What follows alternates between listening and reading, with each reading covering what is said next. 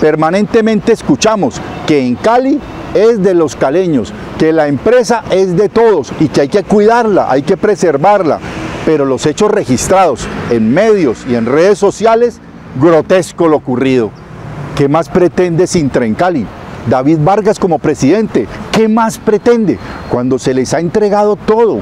Beneficios convencionales, más de 40 mil millones de pesos al año, lo que vale el PAE en Cali, lo que vale la alimentación de los más vulnerables en Cali. ¿Qué más pretenden?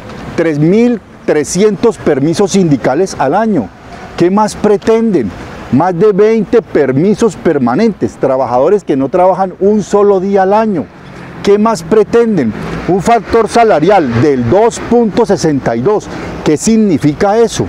Que un salario promedio, 3.500.000, que es un auxiliar de oficina, multiplicado por el 2.62 se puede ganar más de 9 millones de pesos mensuales. ¿Qué decir? El incremento que se dio este año al salario, el 14.9%. ¿Qué más pretenden cuando tienen tres primas extraconvencionales? Enero, vacaciones y diciembre. ¿Qué más pretenden?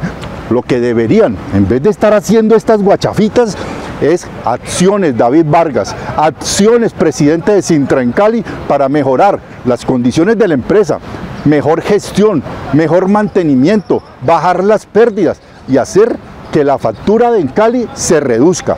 Todo esto que se les da a ustedes va a todos los caleños. Entonces no nos digan que en Cali es de los caleños. Más bien, nosotros caleños pagamos su sueldo.